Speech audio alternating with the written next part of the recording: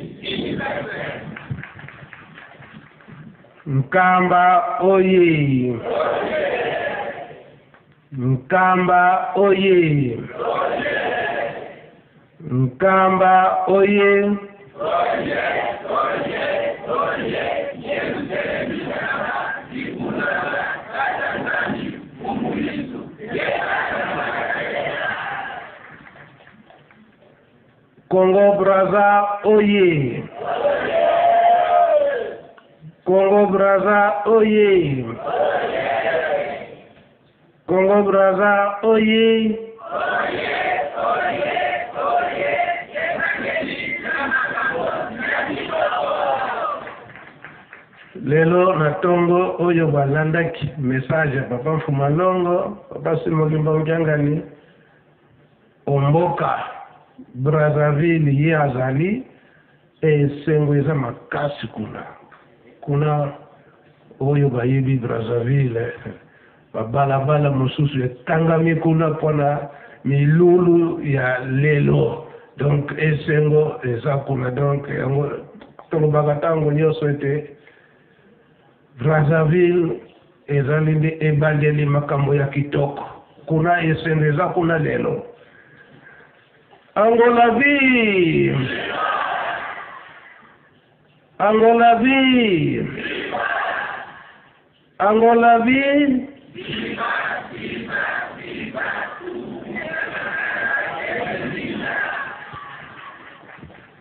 Congo Kinshasa oye!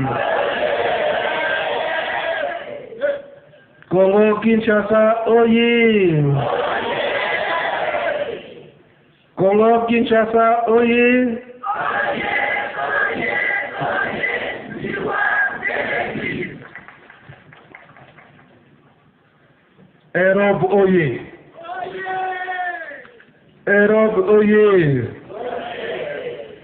Europe oyee!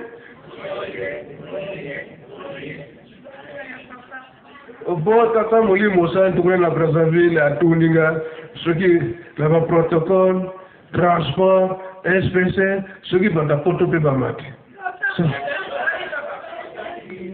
na Etats-Unis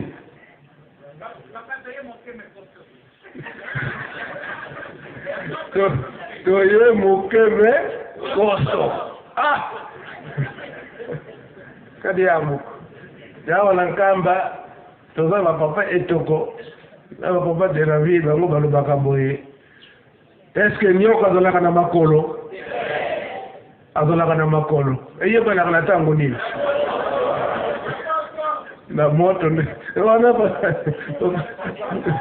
bozwani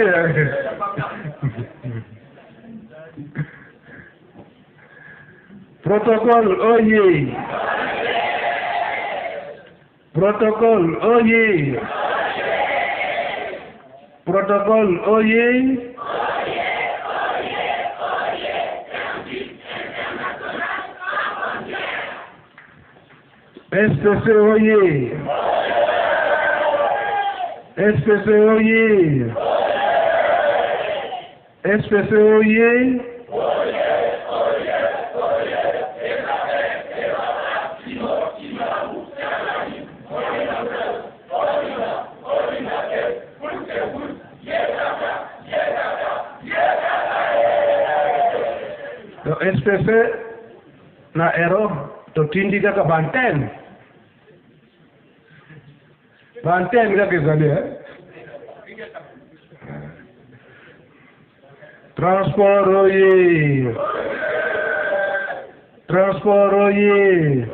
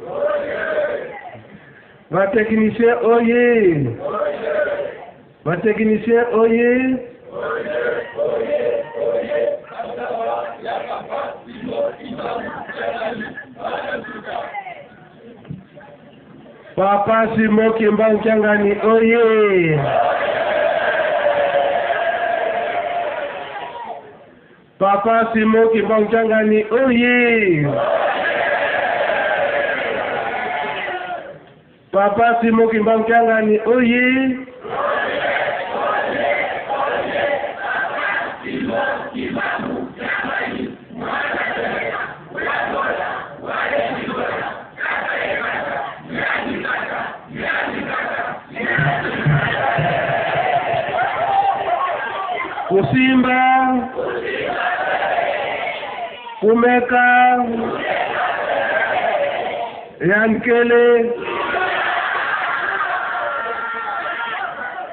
le 22 mars oyi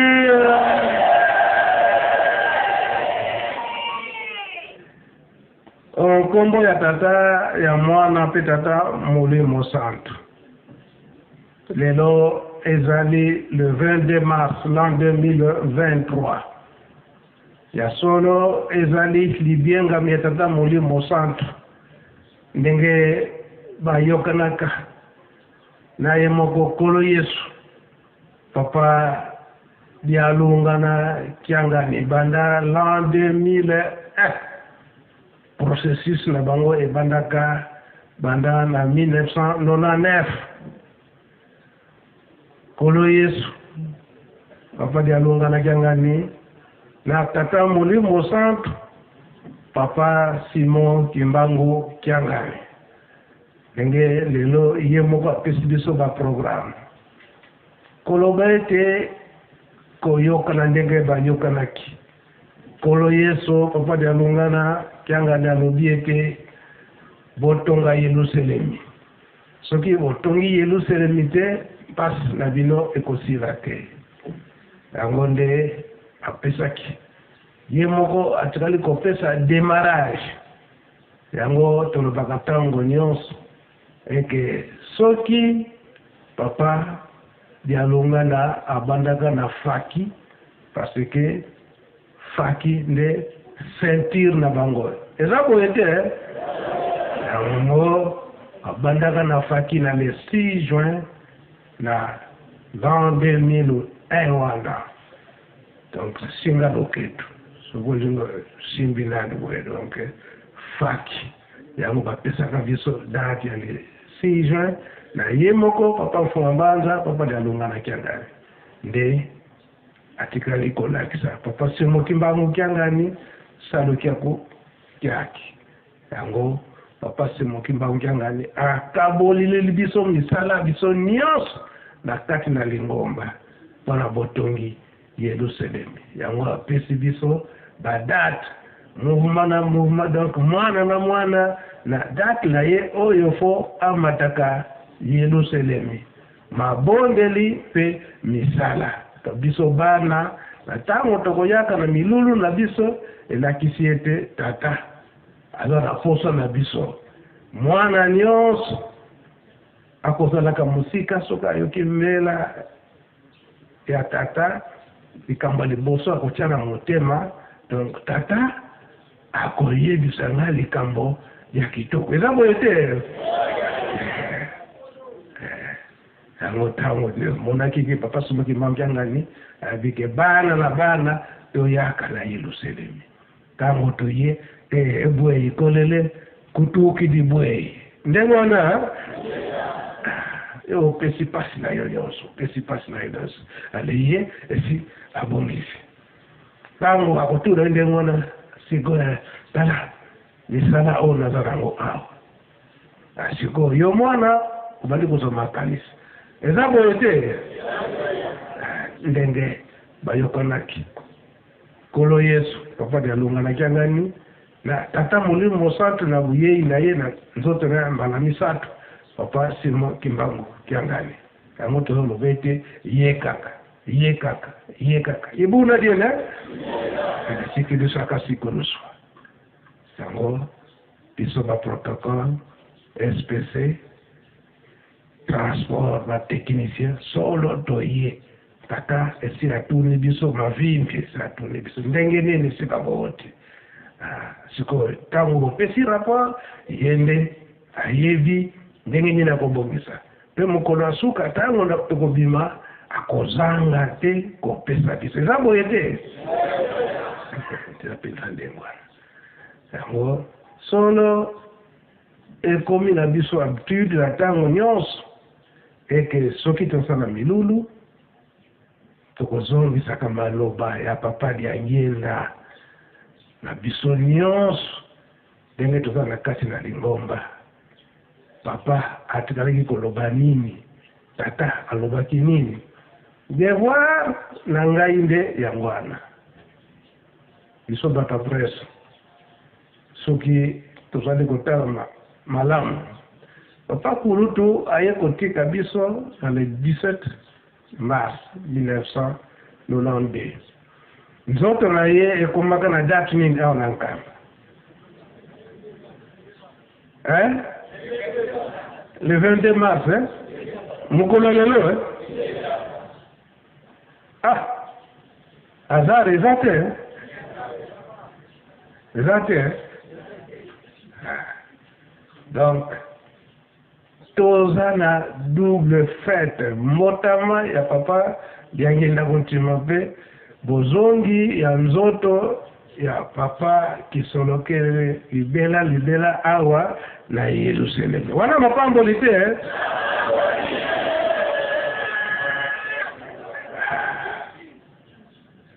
Alors, ya solo likambo oyo nakoloba sikoyo po tolongola mwa ignorance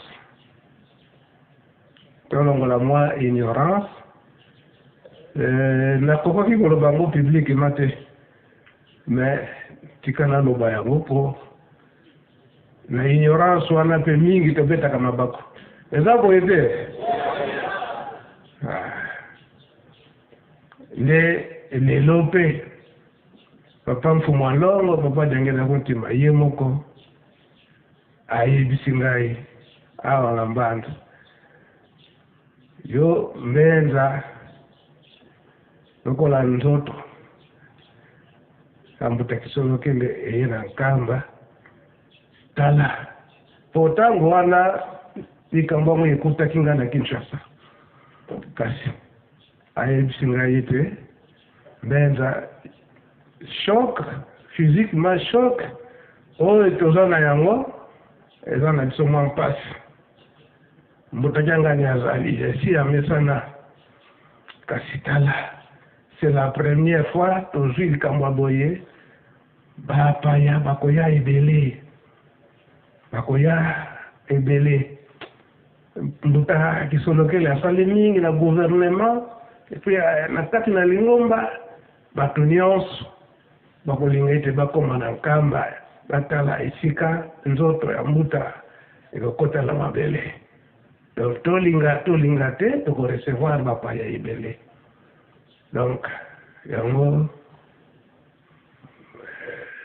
ndenge tokoyamba bapaya na choc oyo toza na yango tolingi te bapaya bazala néglige bon yo mbenza yo tomesani na nkamba alors osala encadrement ya bapaya nyonso wana osala encadrement epuis osokipe na bapaya nyonso Kolia na bango mpe kolala na bango nyonso malgre que toza na esika ya kolalisa bapaya te ngai papa mosala bosalaki ya ndako ya mintino kapasite ya ndako ya mintino meme na bafotei bakolala bakozwa kaka pongi na ndenge ndako wana esalami c'est vrai nde ezonge papa doute ezali te et c'est comme ça que bon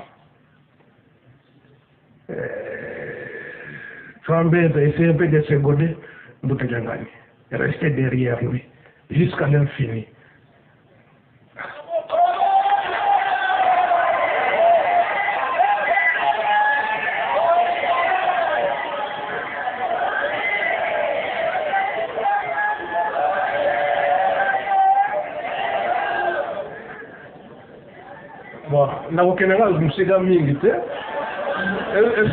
esi bocomprendre alors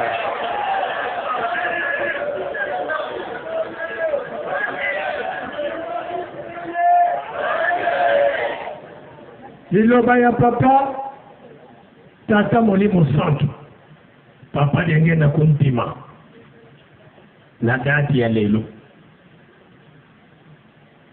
tango ye moko Nkulu Nkulu Papa Kisolokele azongi libela na Nkamba, ayebisi Papa Mbenza Kiangani ete, Zala pene pene ya Mbuta Kiangani jusqu'à l'infini. Papa Puma Mbanza, bongele meso. Papa de Lunga le Kiangani, bongele meso.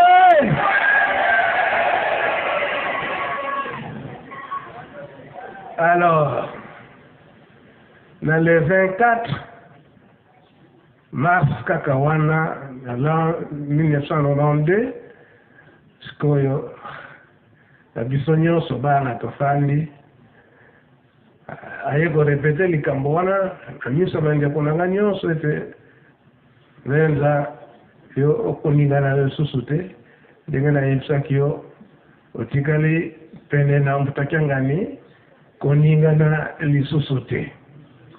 Alors, sikoyo ngai na conscience na nga namoni ete soki Papa Mfumu Mbanza aza te, donc, Mais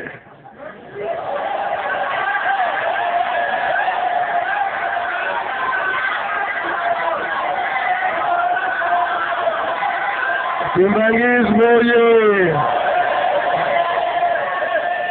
sikoyo nabangaki ka likambo moko nabangaki ka likambo moko donc nazongi esika Ye papa Mfuma Longo, papa Diangienda, azalaka na le 4 aout 1951 tango balakisi ye vale ba germe donc modele ya ba germe oyo bazalaki kitoko moke etambolela malamu moke kasi Oyo etamboleli ya mobulu nde ebele.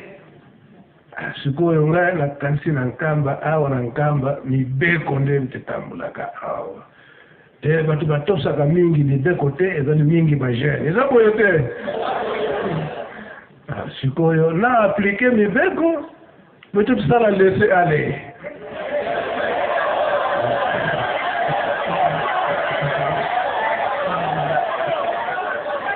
esika eh, wana nga nde nabangaki mais nalobaki na papa fumalongo papa biangienda eke tike te bolingo na bino esalema yango ezomonanaka ntango nyonso bozokobenga nga fuma minsuku Ezali papa de la ville te mais na bango moko misatu donc banda na le 22 mars wana 1992 ti aye ko confirmer yango na miso ya bandeko na nga nyonso na le 24 mars wana 1992. Papa Mbenza aza mechant. Naza mechant te. Nazalaka très gentil. Mais soki otamboli na mibeko te, na applique. Nakomi mechant.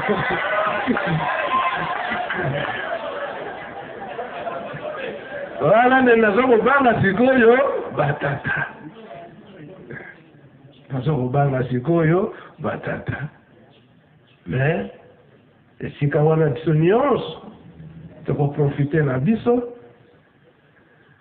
Papa Fumalongo aye kosilisa likambo na nga boye, azwi kobanga te. Mwana oyo atindamaka nde akoliaka malamu ebele. Donc biso pe tokende kaka na rythme wana. Tango totindami lelo oyo tozali kotambwisama na Papa Simon Kimbangu Kiangani. Soki totindami ndenge Ye azali kolingela yango, ah, wana bomengo nyonso tomoni yango. Wana introduction nasali, ndenge etombe juste na le 22 mars, ndenge ezalaka na 1992 mpo na ngai, yango nde nabimisi likambo wana. Donc, ndenge tolobelaki yango,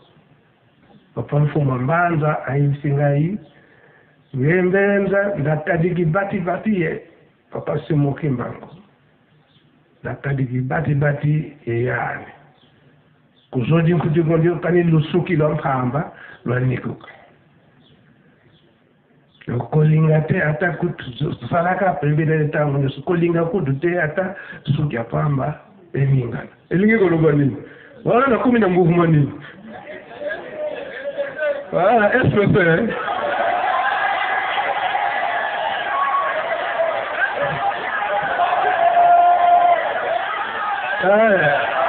protokole oye aye koyebisana mbenza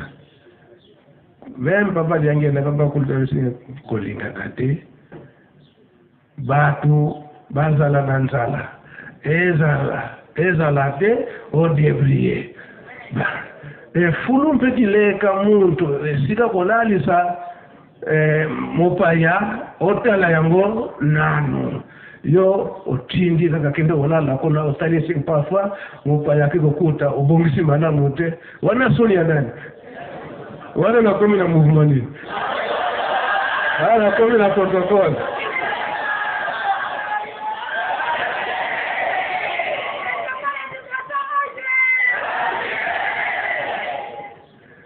Tango nionso papa Mfuma Mbanza ezala ye papa Mfuma Longo ba mouvement nionso ekosalama na mituka fo kaka yo Mbenza akende koyebisa chauffeur boye transport oye oyo bovivre na ngai nakosi to nakosi te Ya solo wana bapasi moki baujangani ti lelo koyoka kaka boye ah, ngeye yukulu ye bango ah, yo utomesani na bango wana nakomi na mouvement nini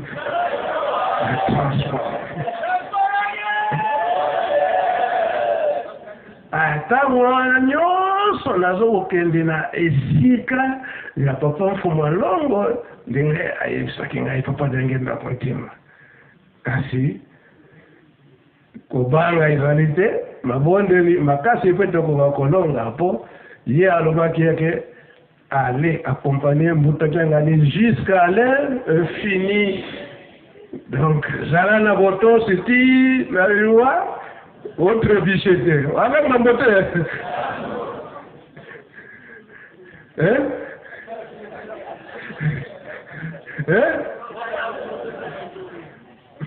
esala eloko te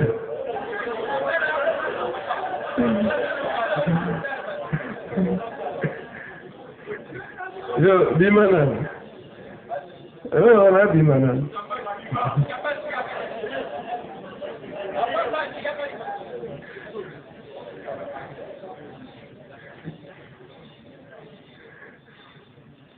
oyo tata oyo soki nabimisi ye Tosalaki na ye banda kala na SBC oyo toyokaka lisolo eke moyini atelamaka maseke ebimi mpo na nini lingomba ya tata Simon Kimbangu ezokende kaka liboso na ntango wana.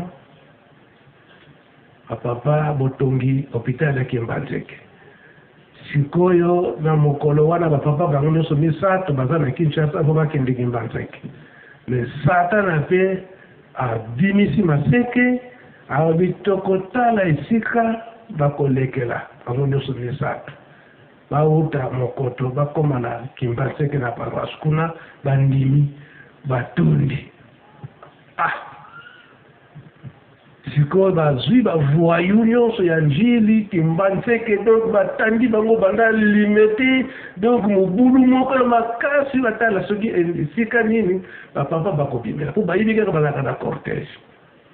Malchance pour moi nazalaka na Kinshasa bayebisi nga Mbenza luka solution bango babandaki kopesa nga maboko Abandaki kopesa nga maboko soki na wuti Nkamba, soki naza na ba course. Tozalaki mibale na papa Aaron oyo ya bandal atika biso. Alors bayebisi ngai na trouve solution. Moninga na ye papa Aaron wana azalaka na voiture moko Mazda abandaki ko retape mais nanu ebongi peza bien donc oyo babengaka na Kinshasa ebetela.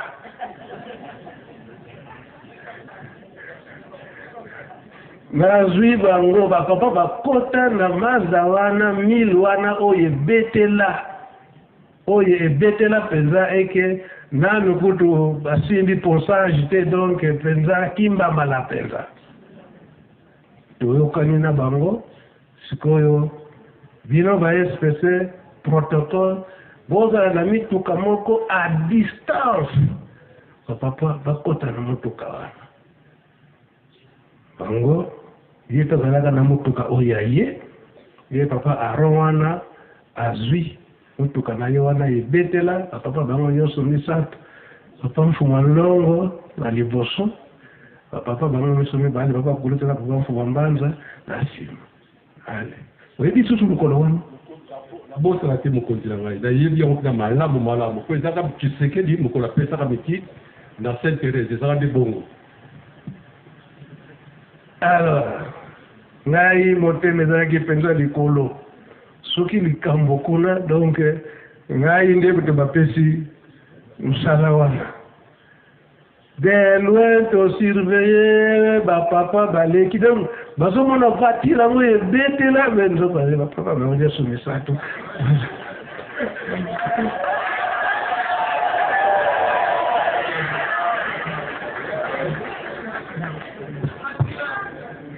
Bango bakomi na kimbanze ke ba voiture na nyonso ndenge ekotaka ba surveillant bazomona yango voiture moko ebele yo ozotya kaka awa lelo kota kuna kota chauffeur azose guide kaka oh, motuka chauffeur aza teti balondemaki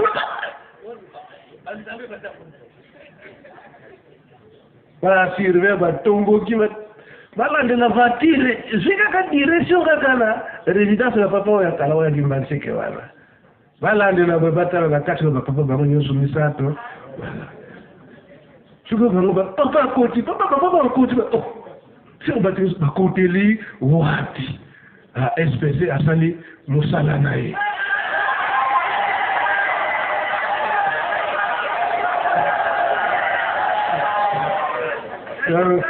yango nabimisi ye wana yo mokolo yo kutu retenir mokolo yango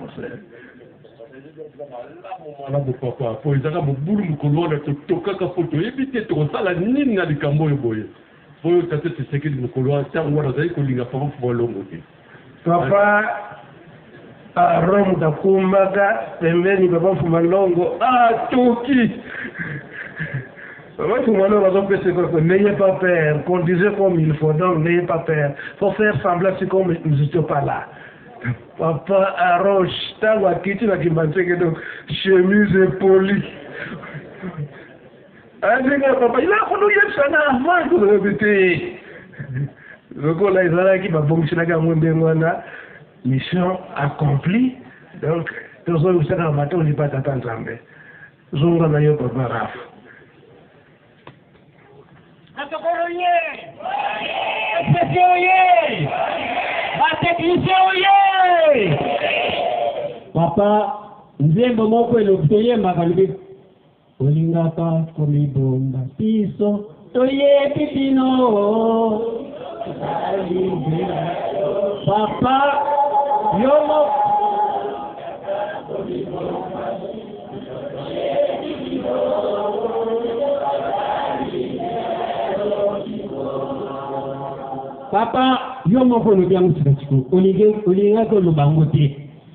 kasi yo moko papa oyebaki kaka kobimisa yango yo moko oyebaki na place papa yo olobi papa alingaka biso te abendaka biso na matoi papa mutu nzambe asala ye matoi po asala nini papa osalaka malamu Puisque biso batu toyokaka te, soki obendi biso matoyi te tokosala nini?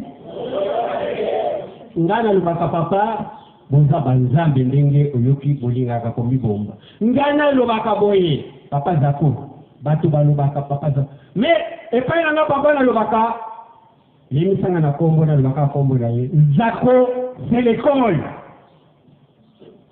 Zako c'est l'école soko oleki epai ya papa zako te na biso ndenge tozali awa donc oza eloko pamba pamba te epai na ye matei ye alakisaka yango wana olobaki papa obomi yango oye biso nyonso toyoka yango nsika sikoyo me biso toyebi na biso baoyo basosolaka oyo bayebi bino Papa bayebi me oyo bayebi na bango bino te bamonaka kaka bino kaka ndenge wana kasi lokola biso tolandaka bino ntango nyonso toyebi te boza banzambe biso toyebi ata bozo kobibomba papa biso toyebi na nkombo ya tata mwana mpe tata molimo santu amen, amen.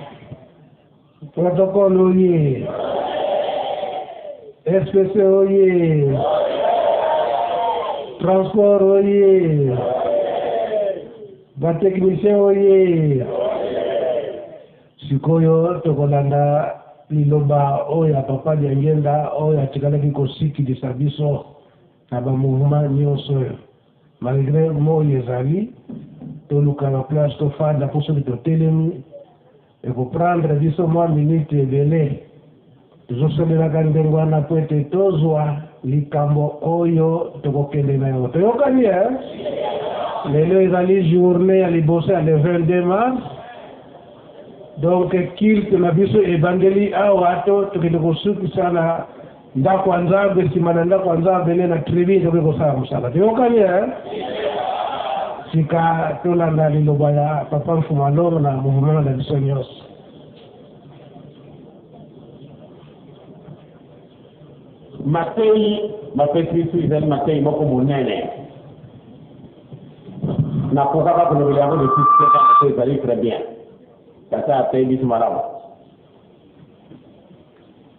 makambo ma lokuta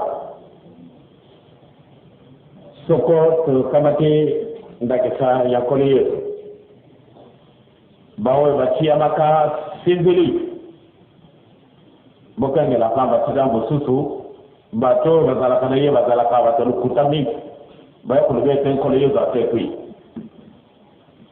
Malgre ba okati yango malamu nde eh. Tokoki kokwesa ndako oyo, kasi na mikolo misato na kotonga yango. Ba okati yango malamu eh. Bango bazalaki banganga Nzambe, bayibaki mpenza malamu malamu nde likambo alobaki ekosalama, kasi batiaki ye ntembe. Babengani na ndako ya Nzambe. Ba bomi ye bo bati ba civili pamba te ah bosala attention mutu wana aloba te sima na mokolo misatu akobima na ye malamu nde botia ba soda eh bakamba teke bato wana batiaki bango asekwi bamemi sango de solo tomoni ye abimi mpenza ndenge mosusu eh, eh koloba te pardon koloba likambo ndenge wana te pardon koloba te bale bapesi bango mbongo corruption bandimaki bakamati mbongo ah, baoyo bazali kozala na elongo baya koyeba ye na butu ndenge nini bango balalaki orke lokuta Lokuta na bango emonanaka nsima. Soko tokamati ndakisa, bangunia oyo balingaka biso te, ntango eh, baoki ete aa papa simoto mbango akofi, sango etamboli, sango etamboli asekaseka wate mbango ayi abongwani bakamati likambo yango mpenza baswi yango mpenza molende mpo ete baoyo balandaki papa simoki mbangu bondimela bango ekita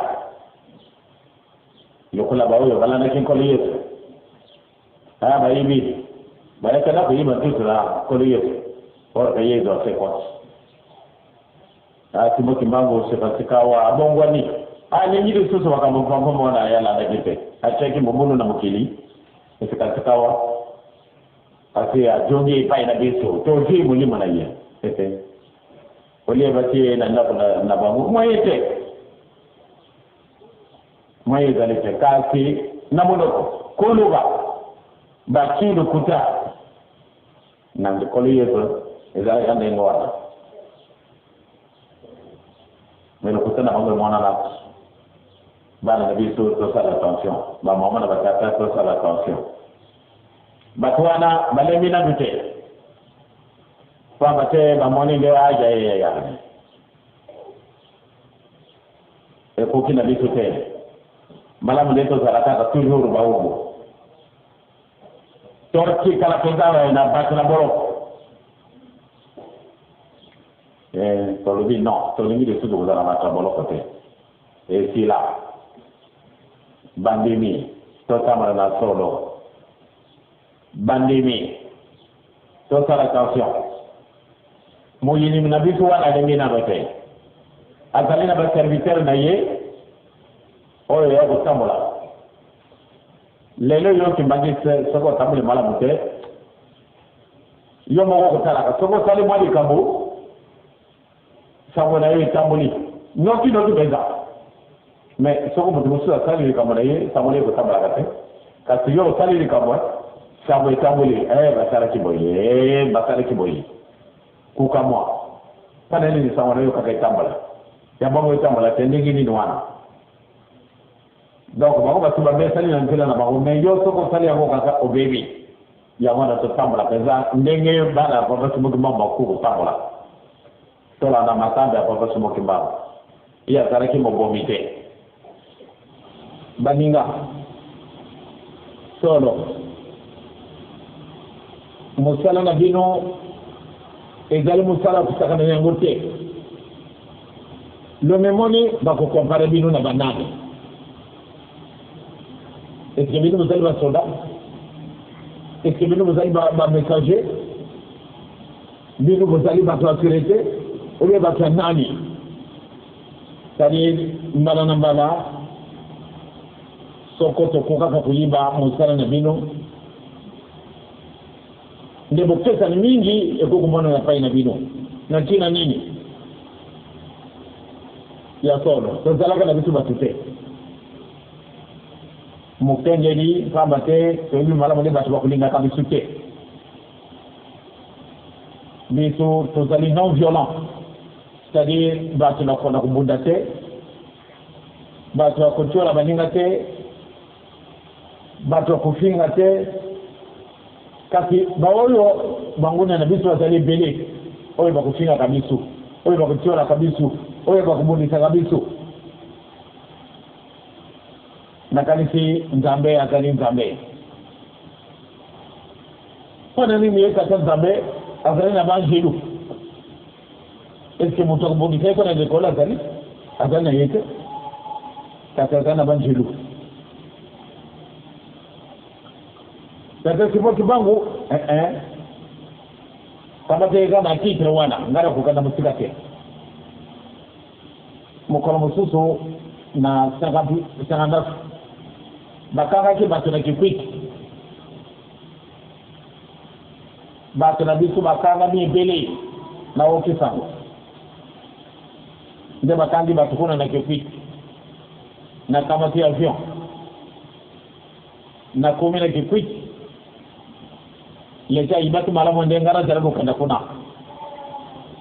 Batindi bato ya surete ebele na basoda, basoda balati bilamba ya civile bato na biso mpe bakoki sabode papa azali koya bayaki bato ebele na aéroport tozalaki na citoyen mbweni ntango tokomi na kikwiti avion ekwei bato na biso baye ebele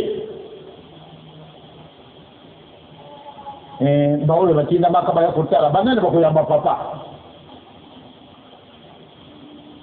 Bato oyo bamoni be bato bayambi ngai bato pamba,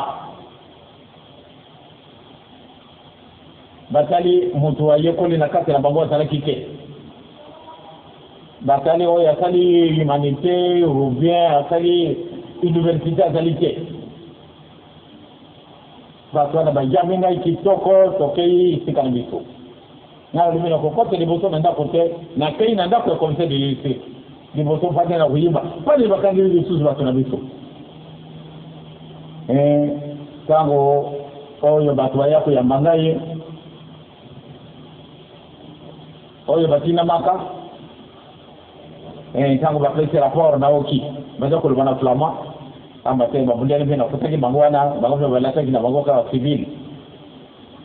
Naoki mundele aza koloba na oyo azalaki conseil de district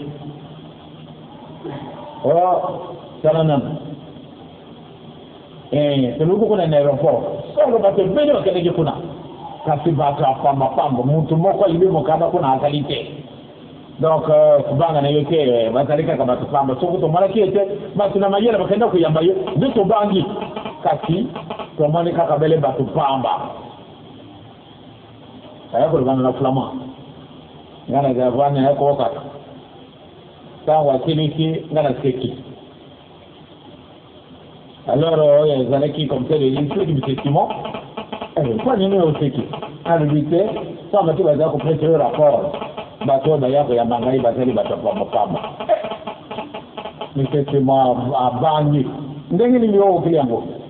Salome me nasi na vandi na bino ba flamand mbala mingi ngai nasi na yebi mwa monoko na bino moke moke na kolobaka te kasi na kokaka soko bozali koloba na kokaka ndia wana okokaki malamu te ngai ne na yoki likambo na bato mpamba mpamba bakendaki koyamba ngai ngai napesaka lituni eh. lubila ngai nano na baoyo basalaki na nkolo yezu elongo ou bien kamata saint pierre oyo atikali mokumba mobimba ya lingumba pamba te yezu alobi ete na kotonga lingumba na ngai na motu na yo asalaki ekalaki nini oyo azalaki iletre moi je dis voilà donc soki azalaki iletre kobimisaka bato wana te bato pamba pamba yango wana mpe yabi na bino soko balobi ya ah, tikila biso bato pamba pamba wana yo oyoki boye osiliki Or que toyaki mobembo. Mutu na mutu na mobembo wana ayaki, Nzambe akamataka eloko apesaka ye. Oyo eloko Nzambe apesaka yo, salela yango. Lokola ozali soda ya molimo, manso na yo okozwa yango mpe na ntina na molimo. Kokamata ye na makambo ya mpompo te na baninga, mpamba te kuna bazali kosala boye, yo mpe okona kosala ndenge wana. ezali mosala moko monene bino bozali kosala donc esika wana elobi ete yo okosalaka mosala mwa mokili te ezali mosala mwa molimo sala yango na lolendo te zala orgueille te donc esika wana bamama na batata nakanisi Bokamata mosala oyo na lokola mosala ya bato ya mokili eeh bino bozali ba soda te ezali te ah ndenge to ntango mosusu obandi kosilika obandi kopesa mala makambo oyo ekoki te ozwi lifuti na mokili or ke bozali bato na lifuti na mokili te elamba yo moko olati kasi malamu nde osumba moto akosumbela oyo azali te ndenge omba kosumbela elamba wana te Wana elakisi ete solo bozali ba volontaires mpo na kosalela Tata. Donc na esika wana, bosala mosala na bino mpenza na kitoko. Soko Nzambe azalaki na biso te, nde tozali na pasi, kasi Nzambe azali na biso. Ndenge ya wana oyo papa Fumalilo bazo koloba banani wana Baninga. Espc. Baoyo bazalaka na kololaka. C'est-à-dire oyo bakozalaka bambisi na ebale. Azali kozwa bambisi sikasikawa atala moto azali kojambu nokinoki mpenza kura ekamati ye. Okamati singa obwakili ye, akamati singa wana, yo mpe obengi malembe malembe otii ye na kati na bwato. Nakanisi moto wana akobosana yo lisusu te. Moto wana akobosana yo lisusu te. Na ntina nini? Pamba te Polo opesi ye lisalisi. Soki oyo te, nde moyen ezali te. Obenga ye nani? Sauveur na yo. Soki oyo te, nde ngai nakufa. Donc baninga, soko bozali kosala mosala oyo, sala yango na boboto. Djunga na yo nsima lokola mwana moke, bamona yo eloko pamba, mpo ata ozwa plus de merite. Soko ozali orgueilleux, ay, ozwi mbele lifuti na mokili. Mais sika sika bozali lisusu vivant lokola bozalaki te. Oh, bozonga lisusu bana mike, on dirait bato bazangi makolo, or que makolo na bino mazali Maboko na bino mazali sikasikoyo bokoki kokomela. Ezali lisusu te nde, ale, tozongaka nsima. Soko obandi likambo, malamu nde osilisa yango mpo te ozwa lifuti. Tambola na solo. Kola, kota, ko, kotika te nde moto afungola yo miso mpo te omona ekebe, mpamba te bo milimo mabe ekotambolaka na butu, tata boye azali kofungola miso. Ee, afungoli yo miso, ndenge na mokili oyo ya likolo te. Bosala attention na likambo ya ndenge wana, mpamba te nakomonaka yango. Tika te Tata Nzambe, nkolo yo ozali mosantu, bazala babateli na bino esika nyonso tu bino bozali kosala. Bozala ba mechant te, bato na kosilika te, bato na kobunda te, bato ba koloba makambo ya bosoto te, bato ba koyingela na likambo, koyingelisa na kati na lingomba na biso likambo lya politiki. Naboyi awa na kati na lingomba na biso, nalingi na ngai makambo ma politiki te. Te. Moko a kosala boye eh eh nga na boyi na lingaka esika batu bazali kobunda te na lingaka kotala esika wana te na lingi komona esika batu bazali koloba mongongo makasi makasi te soko tozali koyemba wana ya kosepela kasi soko ebandi kosuana ebandi kofingama na bandi komona baorgeye na bandi kobanga pamba te tomona mpasi Tomoni mpasi na kati na mpasi oyo ebengamaka mpenza mpasi na kati na lingomba na biso. Bato balingi biso te. Bato mosusu, tika baloba na maloba na bango, kasi yo koyingela na makambo na bango te, koyingelisa makambo ya politiki na kati na lingomba na biso te. Wana naboyi, mpamba te biso tomoni mpasi. Moto nyonso akoki kosala likambo, d'accord, kasi yo kimbanguiste osali yango, ebango te. Tala nanu lelo mpasi ezali na kati na mokili na biso. Moto mosusu asali likambo na ye, soko bamoni nde kimbanguiste moko azali wana, tobebi. Nazali koloba yango avant-hier, makambo ya ba enseignants basalaki, makambo oyo mazalaki na grève, biso tozalaki na Brazza, kasi likambo wana ntango nayoki yango vraiment epesi ngai mpasi na kati na motu na ngai. Mpo na nini? Eh, bamosusu basali eh, biso toza na biso kuna te, kasi Bamoni eh enseignant moko oyo azalaki kuna ya Kimbanguiste a participer na grève. Bato ya ndenge wana en tout cas namoni nanu coordinateur national te. Pourquoi namona nanu akuluba na ye president likambo ya ndenge wana. Nakoki kondima te biso tozalaka très sobre na makambo na biso tokoloba kasi nakenda kokowoka balobi ete Kimbanguiste moko azalaki kuna en tout cas esika wana moto wana azali Kimbanguiste te pamba te papa amoni pasi Kasi mokolo moko te afingaki moto. Mokolo moko te azumisaka liloba mabe na moto. Jamais. Donc esika wana toyingelisa makambo mabe mabe na kati na lingomba na biso. Tokane, hein? Tokane. Tika te Nzambe abatela bino na kombo na Tata pe na Mwana pe Mosantu. Amen. David, mpasi ezingeli oyo aziki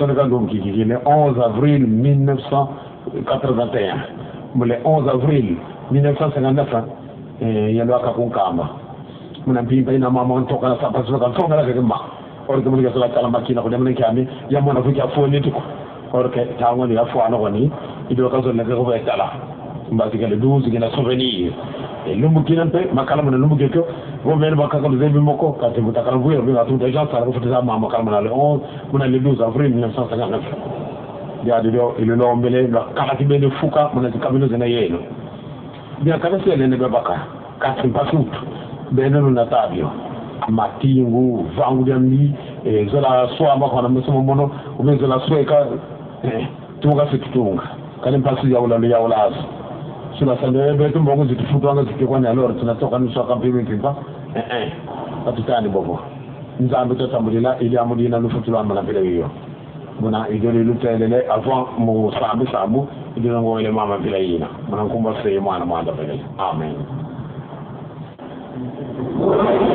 Tokolongi na nkombo ya Tata na Mwana na Elimo Santu. Eh, lolimbisa nga soki na ye en retard na reunion na bino.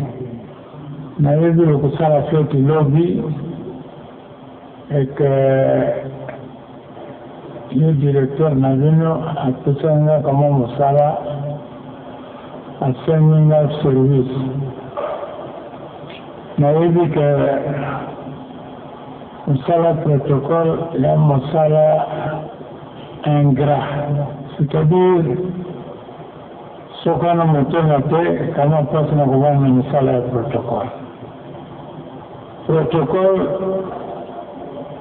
eyebi nini? Protocole basali yango mpo kotia ordre na groupe, ordre ya kotia ordre na kati ya ya bakonzi ya nini oyo. Alors protocole eyebi nini? kwa ko recevoir batu, kwa kosalisa batu, kwa ko eviter ba mobulu etc.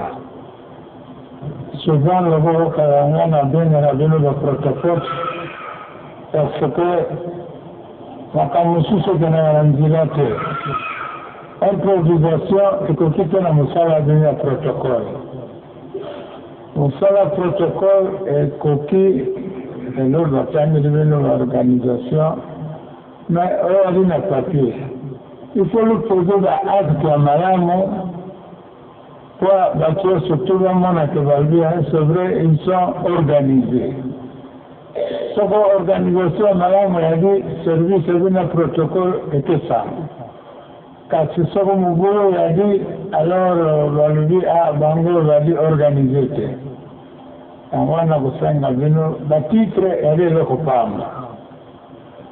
Toloba te parce que nga nali eh, directeur nali coordinateur principal eh, nga nali au-dessus ya bango surtout non Batii yo mosala wana otambwisa baninga na yo, mpo baninga na yo omonisa bango mpasi te, c'est-à-dire soko mosala ekomi makasi bango wana moto bakotisa maboko.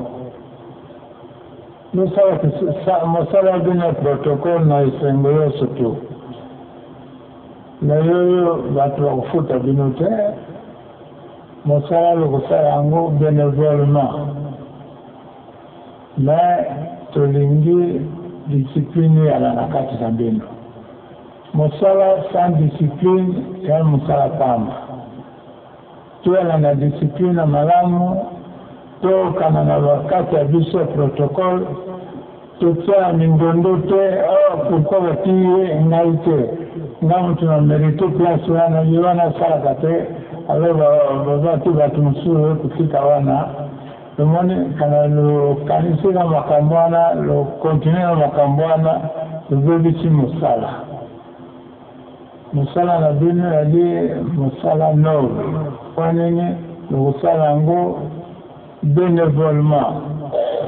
Tango au lieu okenda na ndako batindi yo balobi tala ba etrangers bakoya bino nionso to loyana na tel place mpo kuna ba nzenza ba etrangers baye. Mpo azosalisa bango, moto ya kosokipe na ba logement asokipe na logement, oyo ya kosokipe na transport aya na prep ayeba ke transport il faut kana bato yango bakomi bazo esika bakotambolela eh, makambo nyonso te lokola nalobi awa nalobi leyala na organisation ya malamu entre biso na biso makambo mingi te Kasi bakala bakoya kotala biso motindo na motindo mpo te bamona Luanda organisation malamu. Botika tikala na kati ya bino na bino, botika makambo ya songi songi na kati ya bino. Lelo yo a tika nakende na directeur, a tika nakende na coordinateur, nakenda kopesa ye eloko boye, konsa akoyala na esengo. Non mosala ezali mosala tosala mosala soki mosala ebongi bato oyo surtout bakondima biso kasi kanga mosala ebongi te bato oyo balobi a ah, bake mosala protokole ya pamba bakosimi bakobwakaka kaka mpo komonisa te bali bato ya nani kasi mosala na bango ebongi te yobongisa mosala Ah bino bien na ingana ya kutuvana na bino esika moko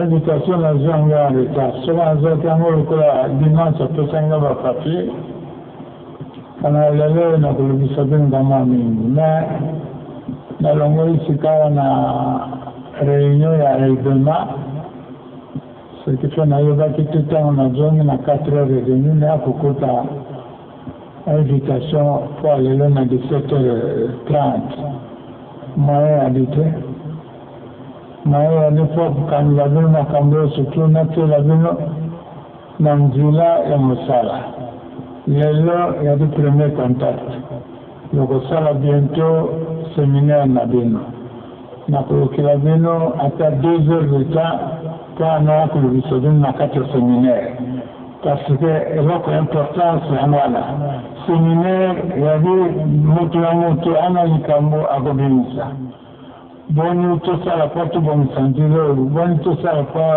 boyokani eyala na kati ya boye boye lokola kosala mosala malamu malamu malamu vraiment soko boyokani ya solo eya na kati na bino Kasi soko boyokani eyali te, mutu mutu ako envier soeur ya moninga, alors wana eza mawa mingi na biso. Yango wana lelo nakolobisa bino mingi te parce que naye kaka nasalela bino signe de presence, naloba ke nayaki na kati ya reunion ya protocole. Et yo tata directeur pe, Nalingi mokolo mosusu oyo tosolola na yo nano makambo protocole. Soko aza yo olobanda seminaire na bino. Comme ça tobongisa tango seminaire ekozala bato surtout bakopase awa moto na moto awa na makambo ya koloba pour lui que toyebi nini wapi nzela tobandaki wapi nzela tokosukisa. Donc nakosenga bino lolimbisa ngai soko nayebi trop tard adi faute na ngai te faute na ye pe te puisque ye pe alaki empêche mais tosalaka de façon protocole mosala na ye ali mutu toujours présent Protocole toujours mosala naye nini aah toujours pas distrait soki wapi distraction mabe muke kaka makambo ebebi tango mbote bovanda malamu bosala mosala bino malamu bakonzi batieli bino liboso lokela bango soki ololobi aah Ye wana akoki na ngai te, wana moto ya Nzambe te, Tata Nzambe alobi mokonzi yoso tout ekolongolaka na ye, donc to sala obeissance na ba mokonzi batieli bino liboso, bo sala na bango na collaboration ya malamu, cetadire kobebisa te pwa soki oyebi olobi ngai te oyo azali liboso na biso ye moto abebisa te. Boyokaneyala na kati na bino. Bolingo solo eyala na kati na bino. Tosala mosala. Tata Nzambe asepela. Biso bato ba tata na bino tosepela.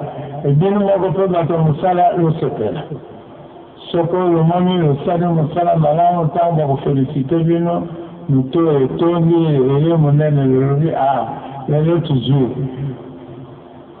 Soko tosali mosala tolobi ah tosala yango kaka eza ekivae ezali mpasi mingi yango wana napesi bino kaka merci mpo alo invite ngai naya kotala bino bamama basalaki seminaire awa nazwaki moya kokoma na bango te nayebi nzoto ya na ngai eyali malamu mingi te lelo nde kotala bino me mokolo lokosala lobandi seminaire Na koluka mokolo moko na okaka mwa nzoto malamu mpo na ya kolobisa bino, tolanda ordre ya mosala. Soki tolandi ordre ya mosala, Tata Nzambe akobenise biso. Kasi soko totie songi songi na kati ya biso na biso, Tata Nzambe akosepela te, mosala mpe ekoka kobonga te.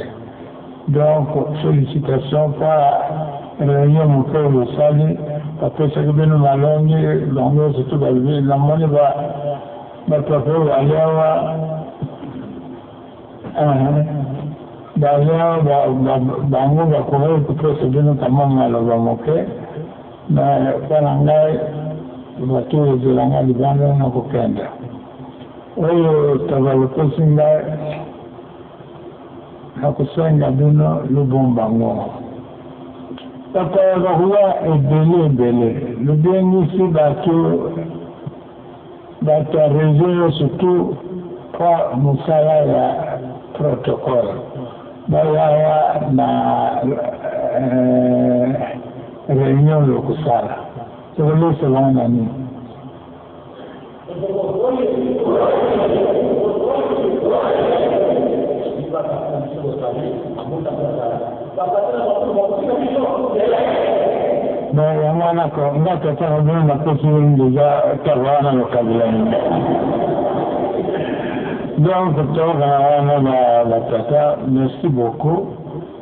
Malgre nako lobisa bino nakanisi na seminaire ba la batu mingi puisque toko tambolaka moke toko kota ba ba protocole epayi na epayi toke na matadi toko kota protocole toke na mbanangungu protocole ade na nkamba protocole toke na kisangani na mbandaka na lubumbashi eh mikolo oyo na tamboli ka mwa moke na lubumbashi Nakanisi ba protocoles soko bibengi bango sur deux jours comme lolobaki po baya awa ekoya na mosala malamu poto poto ekosila mosala oyo surtout na ebandeli ya kapasi na na liboso kuna nde lukobongisa mais bookani na kati na bino Na service ya vie pembeni tokoyoka makambo ebele ah oyo kuna batiaki ye epa nini toyebi te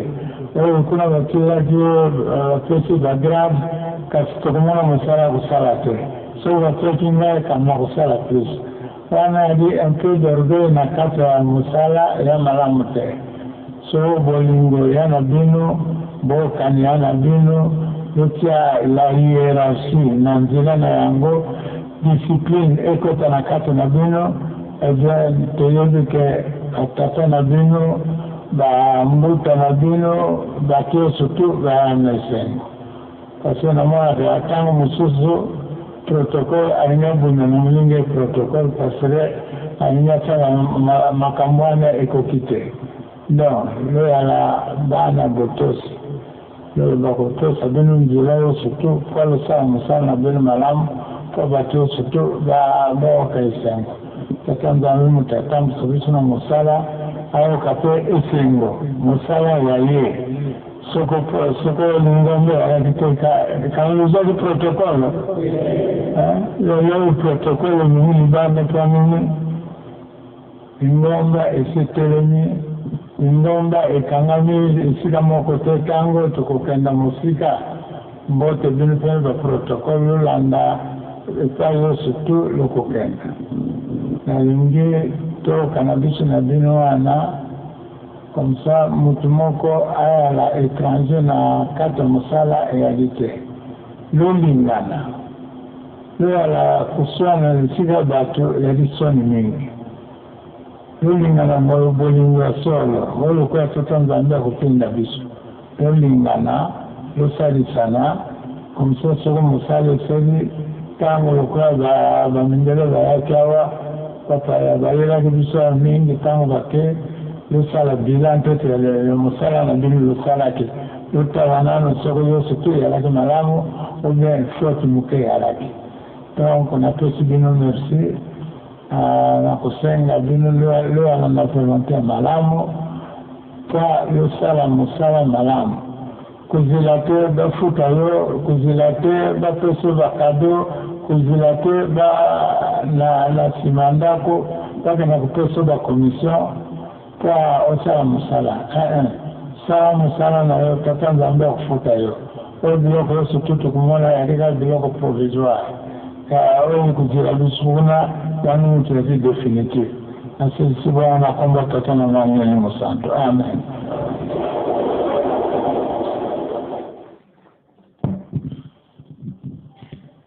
kimbangizi moye bokolimisa ngai tozozwa ngonga molai kasi Soki totie yango na radio mingi tokoyoka te mais tango tozali biso nionso esika moko nde tozali kolanda likambo oyo ba papa balingi na biso nini oyo lelo ezali komonana ke ah papa mbenza alekisi ah papa sumuki bampiangani mpe alekisi papa zako mpe alekisi nzoka nde batata bapesaki biso Ba instruction nionso wana eza boye te eh? Ah, po soki tolandi yango otie yango ba bande na ba radio mingi tokoyoka na biso te lokola eza mokolo na biso yango tozozwa ngonga molai boye po ete tokende na likambo oyo tokozala na yango mingi maloba oyo ntango ezalaki bazalaki nani na mouvement wana te Yango ba tata balingi ndenge nini ba groupe na bango ba mouvement na bango ndenge nini ekoki kotambolela mpo ete tozwa elonga oyo message ya ba chauffeur papa diangenda s'adressaki mingi na kikongo pamba te batambolisi bazalaki mingi bayebaki kikongo Yango toluki nzela to traduire yango na lingala, papa Diangienda alingaki koloba nini? Yo papa Schmitt aza nanu pe pembeni awa, bozala na papa de la Ville, esika oyo ye akobosana yo obakisi parce que ngeye ki Kongo mpe moniki ya zahabu nsiku mia mbika tulili ba mibeko na ye oyo papa Diangienda atieli biso lelo ekomi ya sika transport oye sikoyo emonani lokola ekomisi ya sika baseke oyo toza kosalela na transport yango mpe ye papa liangenda alobaki donc nsima ya ouverture ya temple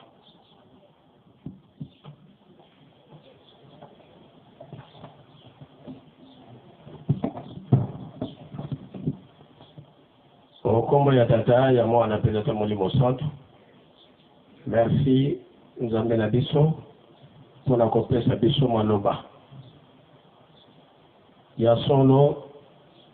Deuxième message ya Papa Mfumu Nlongo ezalaki na Kikongo. Message wana ndenge ye moko alobeli yango, apesa yango le 11 avril 1981, awa na Nkamba, etalelaki mingi bandeko na biso ba chauffeurs ndenge toye na fete na biso, bato na bato balandi oyo ya bango, nde likambo monene ezali na kati ya message wana, toli.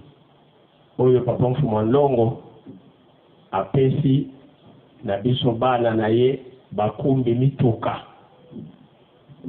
pamba te koyima yima mingi ezalaka kati na biso surtout biso nionso toyebi yango papa Mfuma Nlongo abandaki kolinga mingi kotambola butu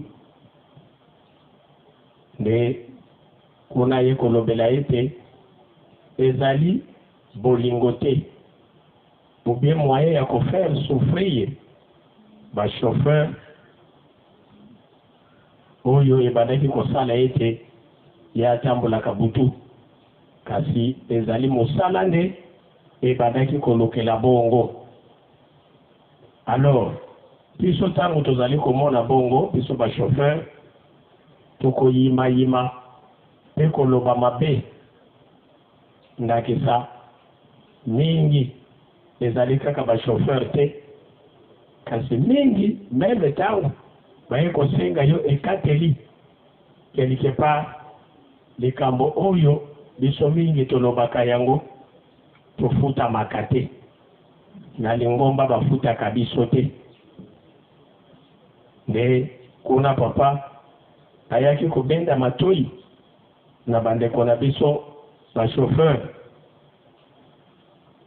nde ayaki kotalisa lisusu na ba chauffeur Bayeba ete ngai, c'est-à-dire Papa Mfumua Longo moto azali koloba, nasi napesa bino na maboko ya Tata.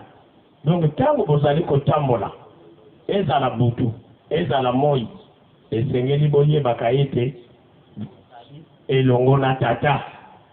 Donc makambo nionso oyo okosala na kati ya motuka na yo, yeba ko se controler. Comportement ezala ya kitoko, maloba mabe te tango ozali na volant, tango ozali na kati ya mutuka, maloba mabe te. Faut kolakisa bizaleli ya kitoko et surtout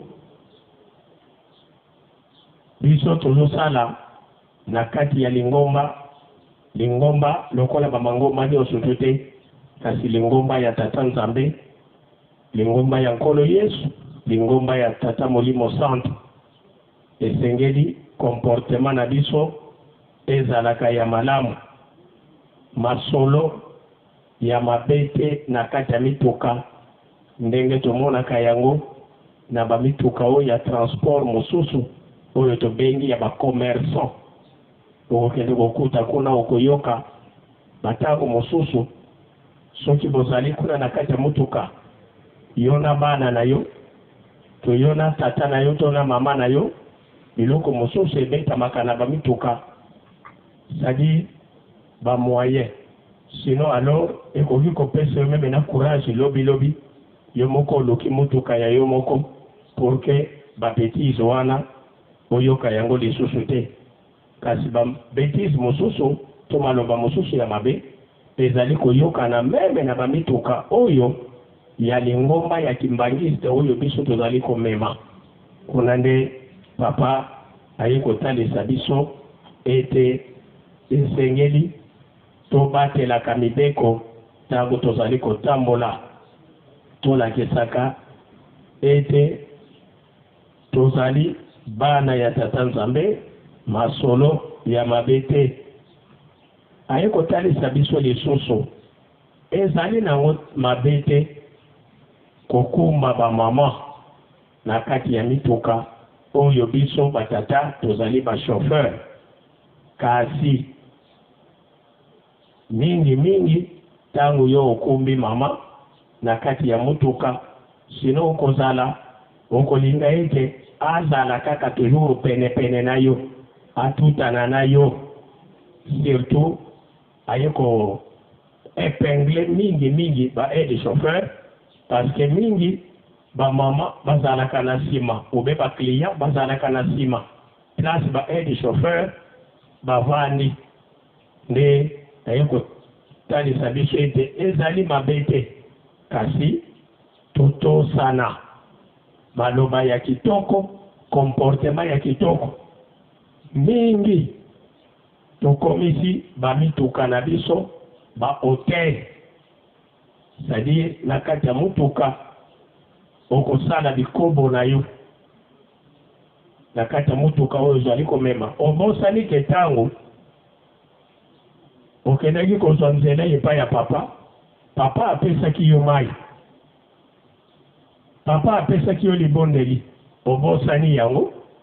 Kasi motuka tokomisi yango bisika na biso ya kosalela oyo nyonso tolingi, tokoloba n'importe quoi.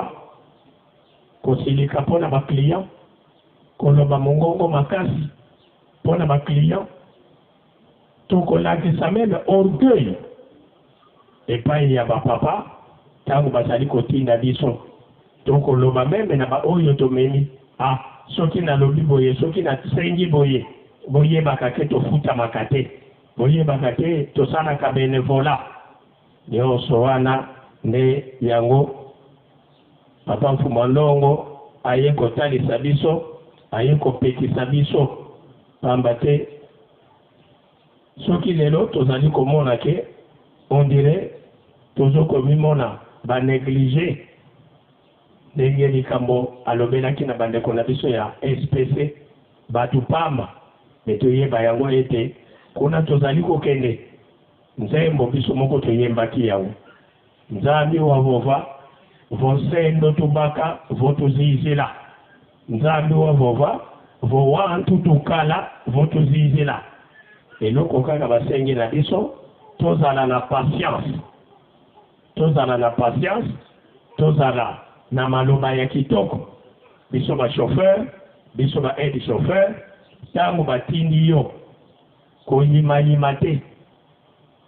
Yo telema nanu kende tosa ndenge batindeli yo oye na suite ya kitoko nzambe abosanaka pasi ya mutu te nzambe asalisaka mutu musala ya pamba te lifuti ezali mais tozelela yango na bobangi tozelela yango na maloba ya kitoko tozelela yango na kati ya bolingo.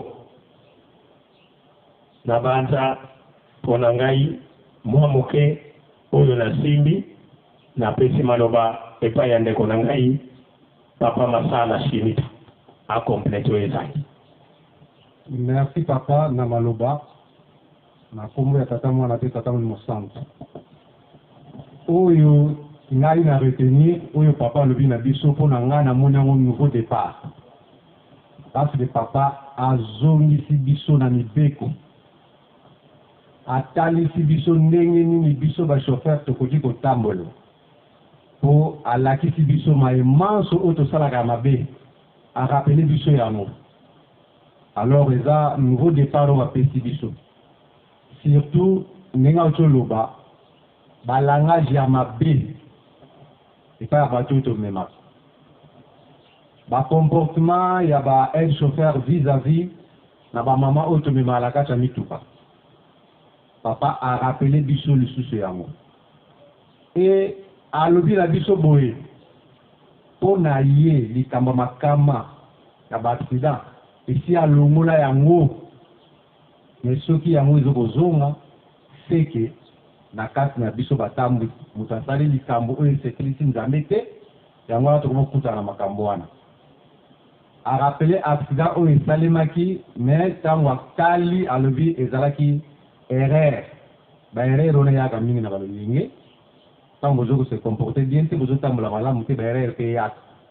Alors yango wana abendi biso matoyi tolanda mibeko ndenge ye alingeli, alakisi biso ndenge il faut tozala, tozala bana boboto, Bana botosi, topesaka ba langage ya malamu, ba receveur tozala poli envers batu oyo tomemaka, donc biloko yango wana papa alakisi biso pour que ba biloko mosusu ya pasi eyela biso te. Ayaki kolobela kombo ya kofungola misu, tomoni yango ebele, toyoki yango ebele, biso ba chauffeur tozwaka ba kisi toyebi te po tosala na compagnie ya nani oyo tozozwela kisi, Kolo ba kisi, nganga ba nganga, yeyo mutu azo loba na biso lelo, mais biso ba chauffeurs to mipesaka na biso tango ya kokende ko sala ba distraction inutile ya kozua ba kisi. Alobi kisi na biso eza mayi ya nkamba, mais ba chauffeurs ebele ba tambolaka na loyenge, soki otuni na kati ya mutuka na ye mayi ya nkamba eza te. Nazo kumba mutuka ya kimbanguiste. Eza soni papa alobi na biso mayi ya nkamba wana soki deja esi opakoli yango satana soki aye po abwaka zelo donc po asala likama eye esuki na parabrise moyen ezua yo na misu eza te tala nanu secret ya munene wana oyo biso ba chauffeur to ignoraka nanu oyo toyebi te mais ebele ya ba ndeko soki okoti na mutuka naye okomona mayi ya nkamba te. Eza te mais azo kumba mutuka ya eglise kimbanguiste soit azo kumba ba kimbanguiste donc eloko wana pona nga nakoki kokende musika mingi te papa apesi biso un nouveau depart donc alakisi biso ndenge tokoki kotambole donc tolanda kaka oyo papa alobi na biso tokomona ke nionso oyo tolobaka nionso oyo tomonaka ya pasi ekozala su pasi pona biso te nasuki bongo na motiyo papa na retenir na komba tata mabel mosantu En plus merci likambo ya kosambela lisusu vraiment likambo oyo meme papa mfumo mbanza alobelaka yango mingi mpo na biso ba chauffeur c'est vrai tonegligeaka eloko wana mingi bareseau ekoma nini ah, na cote église te tala cote église omona babenga briske mame okobengama mpe briske obimi ochange teni okei mais biso ba chauffeur tokotaka église par hasard ndakisa ndenge tozali awa eza fete na biso Soki totali bien ba protocolo baye ebele ba ECC baye ebele baye makolo te biso ba chauffeur nde tomemi bango mais biso bato tomemi bato oyo tomemi biso tozo bima moke bato oyo tomemi bazo bima mingi negligence ba chauffeur ebele bazalaka azo bima akutani na papa te mais bato ya ngai nazo mema ya papa mais akutani na papa te azui bato na biso ya eglise kimbanguiste ake na bango sans meme akutana na papa Biloko wana nionso yango papa a rappeler biso donc yango nalobi c'est un nouveau depart pona biso ba chauffeurs il faut to retenir que toza na obligation ya kokotaka eglise chaque fois toza na obligation ya ko respecter bato oyo tomemaka surtout ba maman papa alobeli yango ye epai na ye ezalaka kutu malamu te apusa na pembeni ya mama ye moko ayebi pona nini mais biso ba chauffeurs na ba receveurs Soki omemi ba maman na kati ya mutuka ozonga neti ba maman nionso bakomi basi na koloba de n'importe quoi yango wana biloko wana papa abendeli biso yango matoyi tosala keba tomibatela po musala tozosala eza musala ya pasi musala tozosala pona ngai ezo kosangisa biso na ba service oyo nioso okuta na ngo awa na Katasekyo musala na biso securite eza na kati service ya protocole eza na kati donc mateyi oyo bapesi na ba protocole ekoti nga lokola epesami epa na ngai pamba te biso moko tozala na na service wana ntango tozomema ba client biso moko togardaka basakoshi na bango babiloko na bango nionso donc service ya liboso tosalaka na na protocole na kati ya mituka na biso Mpo na securite ya batu wana, biso moko lisusu tozo kosalela securite ya SPC. Mpo lelo, biso batu ya liboso to declare batu oyo tomemi ke baza batu mabe, mpo securite ya SPC na information ewutaka nanu epai na biso. Donc ba chauffeurs toza na mokumba monene oyo il faut toyeba. Donc depart oyo papa apesi biso, vraiment ba ndeko na ngai, totia yango na misala pour que oyo nionso tokosenga epai ya ba nzambe na biso, tozua yango. Merci papa.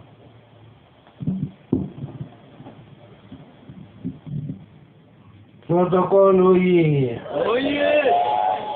SPC oye. Transport oye. Ba technicien oye. Abanza biso nyonso totondi eh.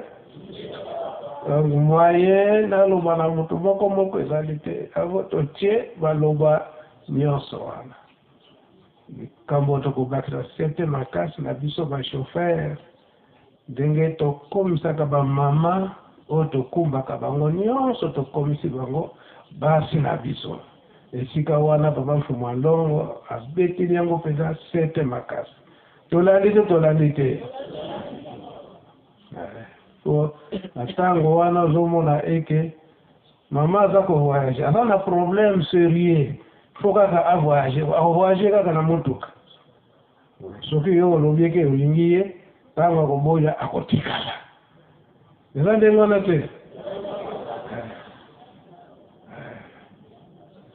alors na esika wana Toyoki malamu donc ezala na biso ba message oyo tozalaka nango totyaka yango na batelefone soki oza na problème na service ofongoli nanu telefone na yo oyoki nanu message yango papa alobaki nini eza boye te na ntango wana okoluka susu moninga te ah, yo moko To komi na technique makasi ya kotia ba message na kati ya telephone oyo ya yo moko. Eza boye hein? Ata kutu bana ya 8 ans, 10 ans amona atie message na ye oyo alingaka wana. Yango to salela yango penza ndenge wana. Nde na lobaki que boko limbisa nga pamba te tozui ngonga molayi na libanda. Mais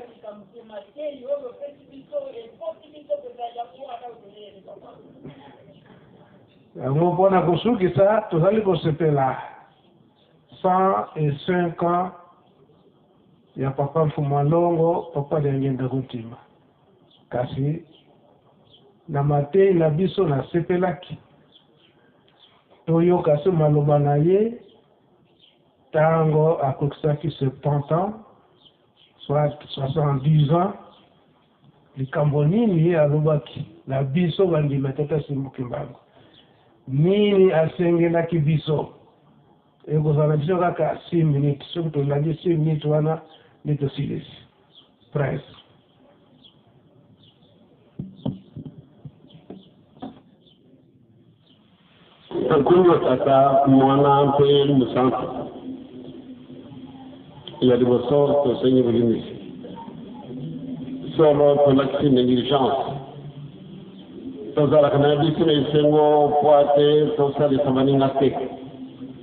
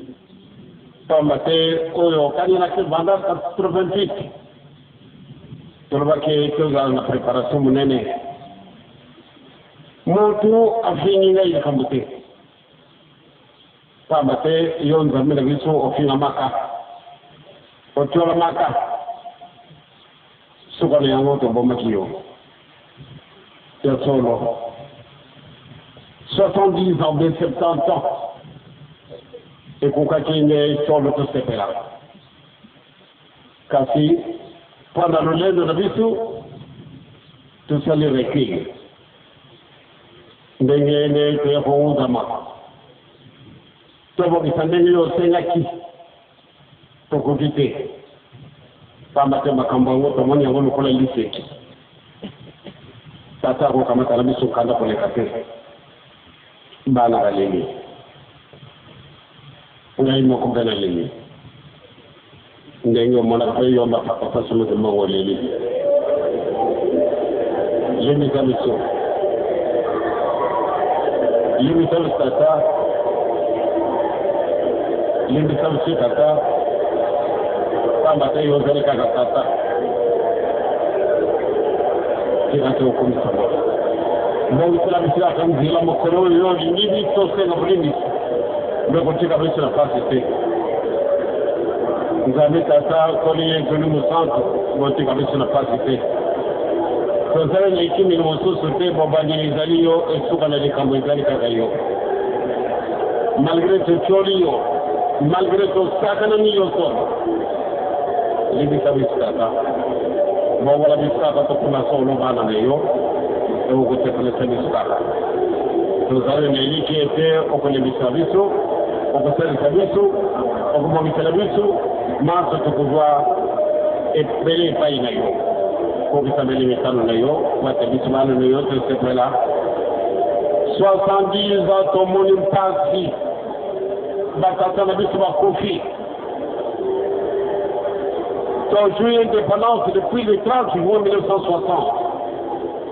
Kasi tala mpasi na biso esili te, mpo nokoma mpe mingi.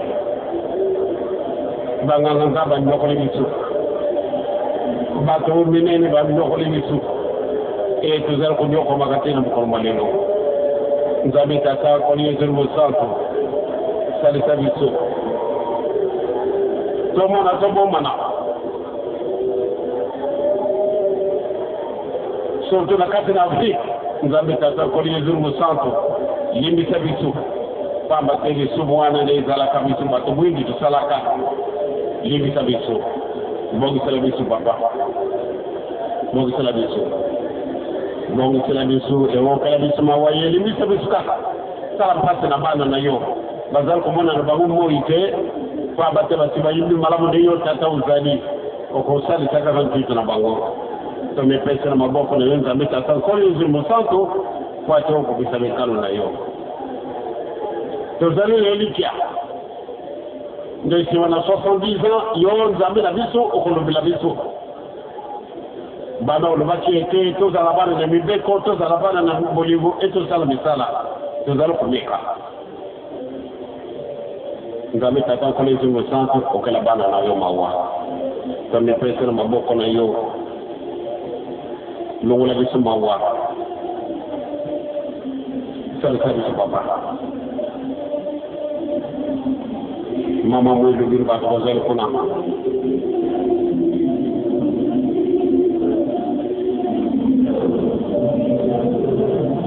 nzambe tata nkoli ezelu mosantu ozali kookaka na nzembo yo moko otindi yango mpo ate tombelela esika na yo bongola biso bayo nde tozala bandemi ya solo nzambe tata nkoli ezelu mosantu kitisa lolendo na yo na bana batata bamama bana na biso tozala elongo totambola lokolo moko totambola makolo mibale te lokolo moko oyo ya kotosa salisa biso mpata tokokisama mikano na yo bato yo osepela bato batioli babengi biso bamazisien Babengi biso ba sorcier, babengi biso ba franc-maçon, babengi biso ba rose christian. Mawa makambo bango moko basalelaka bazali kobomana na yango kasi ata nde yo okotaka na yo te tokoyeba bango kaka nzambe na biso elembisa biso kaka topesi manso na boko na yo Tozali kosenga kaka nde moto mwindu akoka komisalela ye moko, pamba te mayele opesi biso yango, manso osi opesi biso, basava na biso bazali kokisa biso yango. Nzambe Tata, Nkolo Yezu Mosantu Salisa biso mpo ete tokokisa mikano na yo. Limbisa biso, limbisa biso, limbisa biso mpo ete tokokisa mikano na yo na nkombo na Tata, na nkombo na Mwana, na nkombo na Elimo Santu. Amen.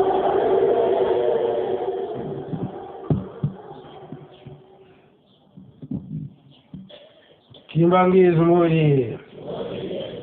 Nkamba oye! Oyo message ya suka ndenge papa Diangenda akokisaka 70 ans soit 70 ans. Lelo oyo akokisi 105 ans. Liloba na biso ya tata Molimo Santu, papa Simon Kimbangu Kiangani Alobi ete na 105 ans likambo ezali ndenge ye moko alobeli yango ete tozongi na zero, elakisi ete ndenge alobeli yango ye moko Papa Diangienda awa na kati na lingomba Ba savants tozali to tozali te? Ebele eh? Na ba mama pe bazali? Ba ye na libondeli na ye ya papa lya ye nalobi eke likambo moko moke oyo ye alobi ete soki totosi Na bolingo, mibeko mpe misala, ngonga na biso esi ekoki mpo ete misala na biso wana ya ki savant ebanda. Wana esongo te Liloba ya Papa Mfuma Longo, Papa Simon Kimbangu Kiangani kuna na Brazzaville lelo nde yango wana. Donc,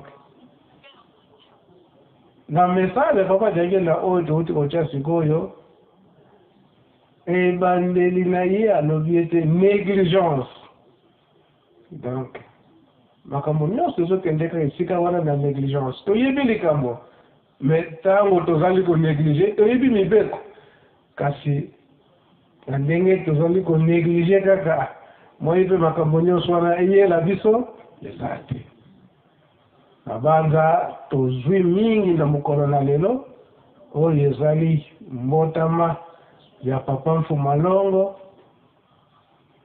Papa Diangenda Buntima na 1918 le 22 mars et na 1992 Le 22 mars bozongi libela ya nzoto ya papa Kisolokele awa na Nkamba. Wana esengo te? Tosilisi wana nkombo Tata Mwana mpe Molimo Santu. Amen.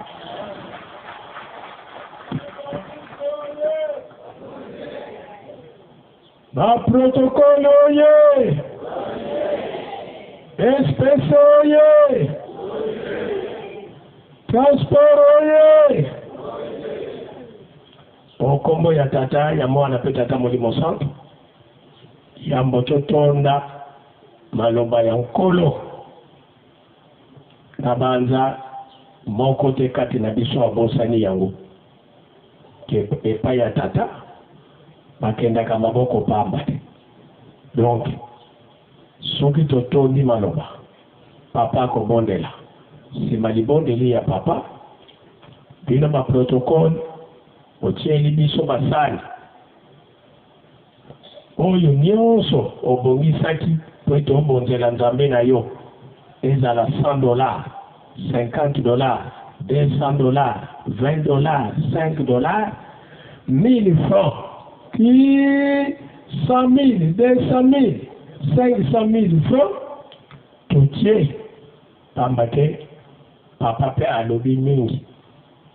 Esengeli ndenge ye moko Papa Mfumua Nlongo dernierement tango ayaki mpo na enrolement toyaki kotala ye biso bana Nkamba alors tango tolobi ete Papa tolingi tolukela yo lipa, Alobi, Ah, lipa bokolukela nga ya marque nini pamba te ngai nalingaka lipa na nga ya solo amilinga.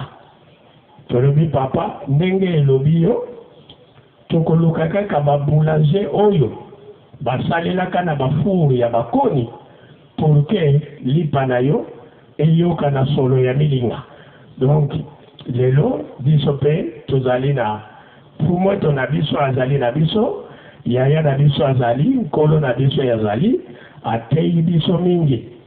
Esengeli ete toluka ne fils que ata mwa mayi, ata ekozala nango ya malili te mais mayi wana, ebima lokola mayi ya calebasse ba oyo tomelaka mayi ya calebasse peut etre toyebi ntomo okanaka mumaza man donc soki papa asili asilisi ye libondeli na ye bakotia sani et puis totie mbala moko tokote na ndako nzambe pote to continue programme na biso tobongisa maboko totonda Malenisi ya Tata Nzambe, Nkolo Yesu mpe Tata Molimo Santu tozwi lelo, o nkombo ya Tata, Mwana mpe Tata Molimo Santu.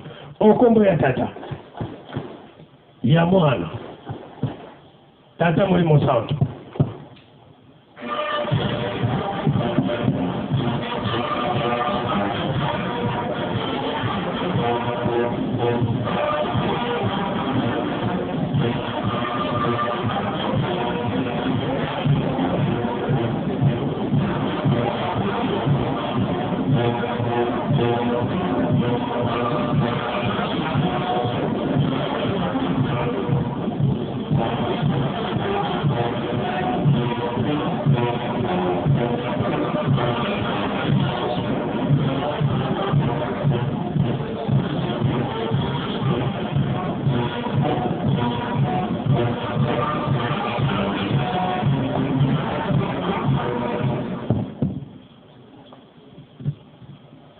tobondela oh, nkombo ya tata ya mwana mpe tata molimo santu tata nzambe kolo yesu papa simo kimbangu Topesi bino lokumu na maye oyo bokosalelaka biso mpe kozali kosalela biso na tango nionso. Yango nde topesi bino lokumu. Lelo tozali na date ya le 22 mars na 2023. Tozali kokanisa mbotama na yo Papa Mfumua Longo. Papa Diangenda Akontima na 1918 ndenge yo Tata Molimo Santu obotamaka na mbala ya mibale ndenge olobelaka yongo buku Papa Simon Kimbangu na 1910 eke ekobotama lisusu mbala mibale na 1918 soki totali malamu Mbotama ya yo Papa Diangenda na 1918 ezalaki nde suka ya bitumba oyo ezingaki mokili mobimba babengi Première Guerre Mondiale. Na tango mbotama na yo, bitumba nionso wana esilaki. Lelo oyo ndenge tozali kokanisa na le 22 mars l'an 2023, tozali kokanisa lisusu Na 1992, le 22 mars, bozongi libela ya nzoto ya oyo Papa Kisolokele awa na Yeluselemi, ndenge olobaka yango, ete okotika nzoto ya biso bato na mokili un certain mois de mars. Yango tozali nde bana. ya mapamboli. Eloko nini, likambo nini tokosenga na mokolo na lelo oyo? Ya solo, bopesi yango na bana na bino ya ba protocole ya Kimbanguiste ya mokili mobimba.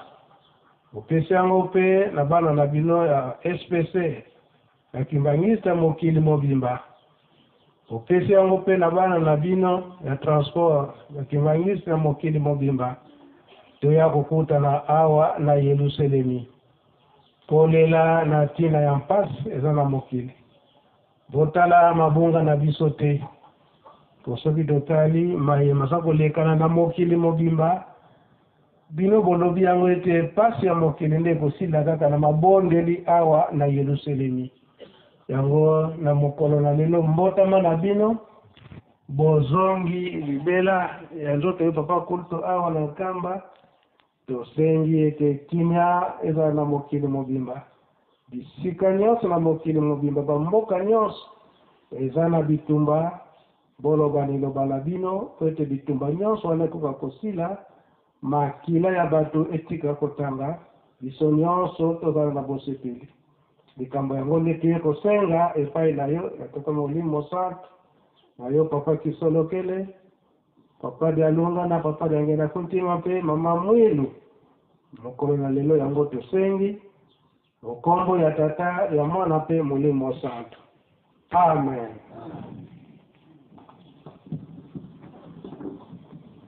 Service protocole rapide na biso basale